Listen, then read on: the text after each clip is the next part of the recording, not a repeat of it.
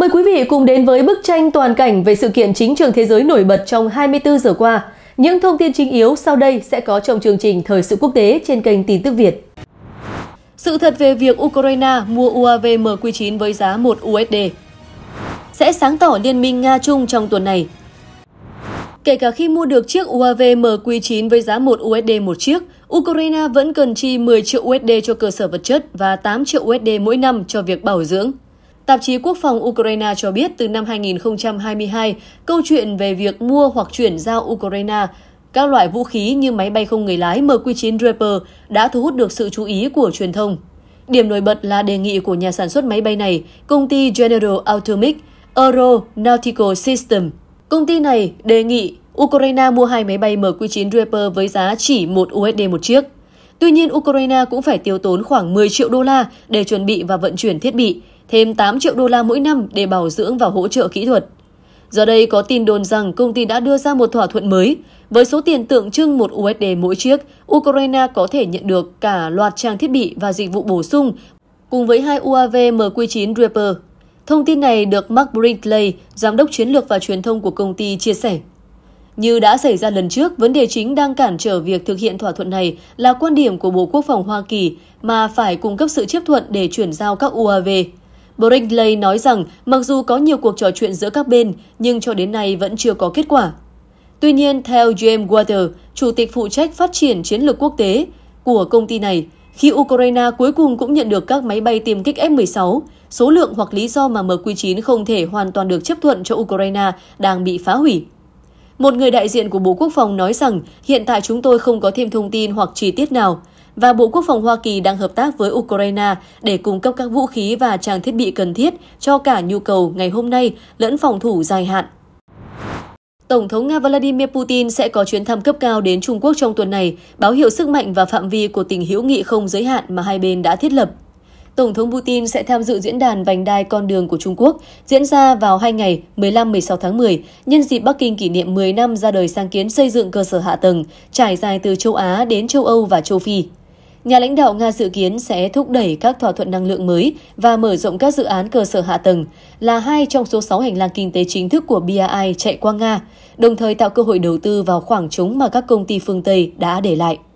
Tuy nhiên, các chuyên gia lưu ý rằng Bắc Kinh cũng đã có những bước đi thận trọng kể từ khi Điện Kremlin phát động chiến dịch quân sự đặc biệt tại Ukraine vào tháng 2 năm 2022. Tatiana Michova, một nhà nghiên cứu tại Trung tâm Chính sách Năng lượng Toàn cầu, nói với Nikkei Asia.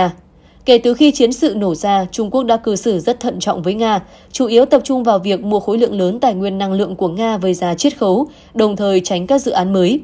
Do đó, bản chất của bất kỳ thỏa thuận nào đạt được trong tuần này hoặc việc thiếu các thỏa thuận được cho là có thể làm sáng tỏ mối quan hệ thực chất giữa Nga và Trung Quốc. Thủ tướng Nga Mikhail Mishutin tuyên bố tại Diễn đàn Doanh nghiệp Nga-Trung vào hồi tháng 3 năm nay rằng hai nước đang có 80 dự án đầu tư chung trị giá hơn 165 tỷ USD.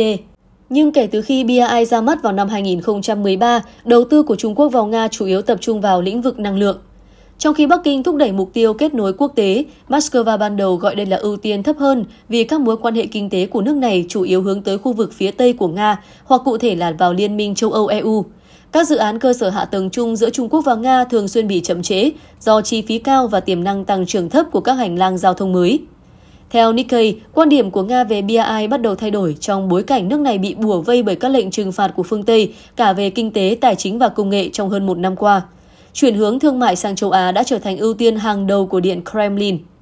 Thương mại song phương với Trung Quốc, đặc biệt là hàng nhập khẩu, chỉ có thể tăng mạnh nếu hoàn thành một số dự án đang chờ xử lý ở vùng viễn đông của Nga.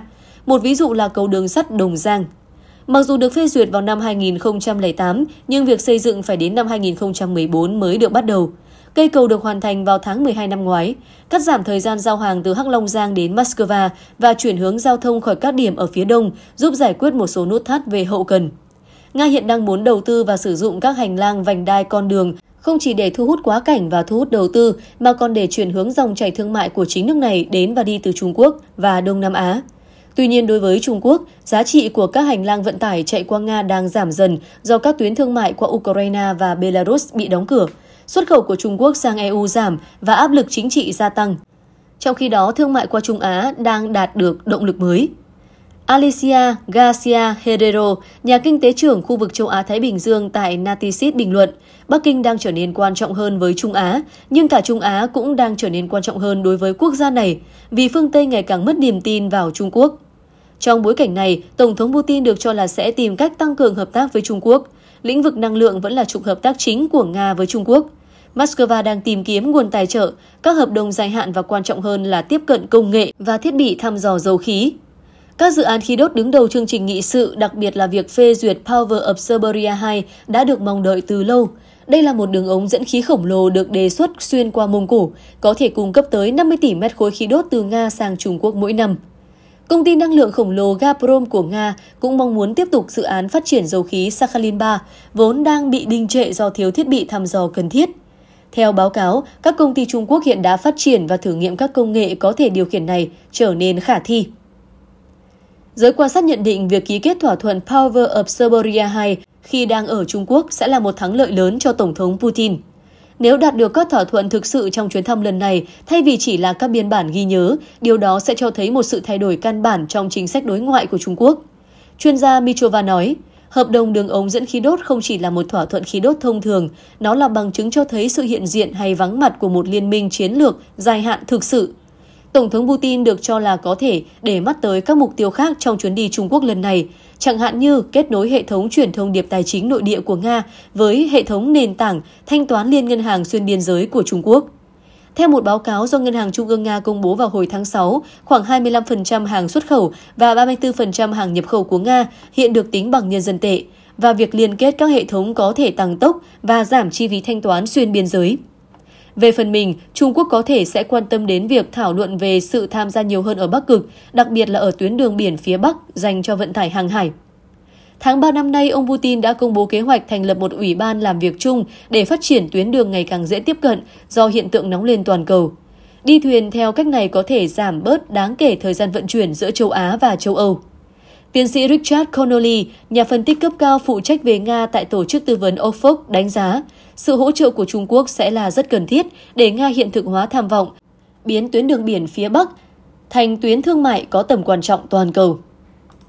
Ông Putin lên tiếng về kế hoạch hòa bình Ukraine của Trung Quốc. Tổng thống Nga Putin cho rằng kế hoạch hòa bình Ukraine do Trung Quốc đề xuất rất thực tế và có thể là nền tảng cho các thỏa thuận hòa bình. Tất nhiên, chúng tôi đã nắm được các đề xuất của những người bạn Trung Quốc. Tôi nghĩ những đề xuất đó rất thực tế, ít nhất là có thể là nền tảng cho các thỏa thuận hòa bình. Tuy nhiên, bên phía Ukraine không sẵn sàng tham gia bất cứ cuộc đàm phán nào, Tổng thống Putin nói.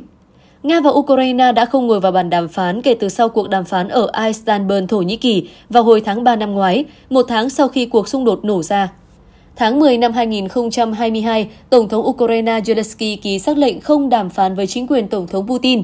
Moscow nhiều lần cáo buộc xác lệnh này đã cản trở hòa đàm giữa Nga và Ukraine, đồng thời cho rằng những điều kiện mà Kiev đưa ra là không thực tế. Làm sao có thể đàm phán khi họ không muốn vậy và thậm chí đưa ra một văn bản pháp lý cấm đàm phán? Ông Putin nói. Chủ nhân điện Kremlin cũng nhấn mạnh Moscow vẫn để ngỏ và sẵn sàng đàm phán, nhưng Kiev cần tuyên bố họ cũng sẵn sàng. Ở một số quốc gia, trong đó có Trung Quốc, đã phát tín hiệu sẵn sàng đóng vai trò trung gian hòa giải giữa Moscow và Kiev. Trung Quốc từ lâu đã khẳng định quan điểm trung lập trong vấn đề xung đột Nga-Ukraine. Bắc Kinh kêu gọi tìm kiếm giải pháp hòa bình cho cuộc khủng hoảng Ukraine. Bắc Kinh cũng cáo buộc việc NATO mở rộng về biên giới Nga là nguyên nhân dẫn đến xung đột Moscow-Kiev. Đầu năm nay, Bộ Ngoại giao Trung Quốc đã đưa ra một bản đề nghị gồm 12 điểm nhằm chấm dứt cuộc xung đột ở Ukraine. Đề nghị này bao gồm hàng loạt giải pháp từ ngừng bắn, hòa đàm đến từ bỏ tư duy chiến tranh lạnh, lệnh trừng phạt, đảm bảo chuỗi cung ứng toàn cầu. Trong khi Nga ủng hộ kế hoạch này, Ukraine và phương Tây cho rằng đề xuất của Bắc Kinh có lợi hơn cho Nga. Ukraine tuyên bố tiếp tục coi công thức hòa bình 10 điểm do Tổng thống Zelensky đưa ra là nền tảng cho mọi cuộc hòa đàm, trong đó có việc Nga phải rút quân vô điều kiện khỏi lãnh thổ Ukraine, bồi thường thiệt hại.